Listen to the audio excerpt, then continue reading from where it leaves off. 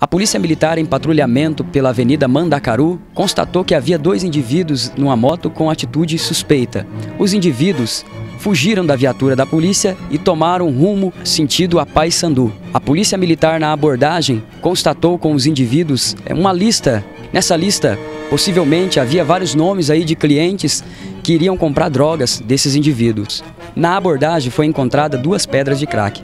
Nós conversamos agora com o Tenente Frank e ele tem mais informações a respeito desta abordagem. É, neste caso, as viaturas estavam aí realizando policiamento ostensivo na Avenida Mandacaru, quando esses dois indivíduos nessa motocicleta perceberam a presença da equipe policial e tentaram empreender fuga.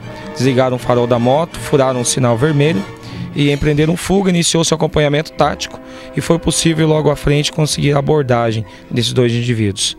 É, com um, um desses indivíduos foi encontrada uma lista com vários nomes e valores, é, dinheiro trocado é, em valores pequenos e com o indivíduo que estava na garupa foi encontrado aí duas buchas com pedras de crack.